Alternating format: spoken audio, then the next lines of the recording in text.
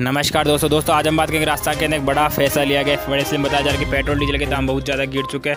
दोस्तों, उसी के बारे में आपको फुल डिटेल इस वीडियो में देने वाला वीडियो को लास्ट एंड तक ज़रूर देखें। दोस्तों, बताया जा रहा है कि पेट्रोल के पेट्रोल के दाम आपके साढ़े नौ रुपये कम हो चुके हैं और डीजल के दाम आपके सात रुपये कम हो चुके हैं। दोस्तों, गिरावट आ चुकी है आपके और बताया जा रहा है कि आपके जो साल भर का सिलेंडर होता है, साल भर के बारह सिलेंडर होता है, उसमें भी आपको दो सौ रुपये की सब्सिडी दी जाएगी। दोस्तों, आज की ब्रेकिंग न्यूज़ बहुत ज़्यादा चल रही है कि आपका पेट्रोल का दाम पहली बार राजस्थान के अंदर इतना बड़ा फैसला लिया जा रहा है कि साढ़े नौ रुपये कम हो रहा है। और दोस्तों बताया जा रहा है कि डीजल का भी दाम सबसे ज़्यादा एक बार सोचा भी जा सकता है कि आपके बड़ा दाम कभी भी कम नहीं हुआ और सात रुपये कम किया जा रहा है। दोस्तों, यही आज की बड़ी ब्रेकिंग न्यूज़ बन चुकी है। दोस्तों, आज राजस्थान में इतना बड़ा फैसला लिया जा रहा है। दोस्तों, आप सभी के लिए गुड न्यूज़ है। ये आपकी, सबके लिए गुड न्यूज़ है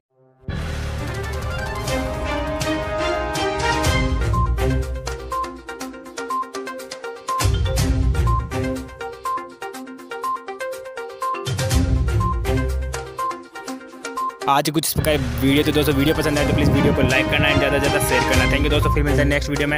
धन्यवाद एंड राम राम सा।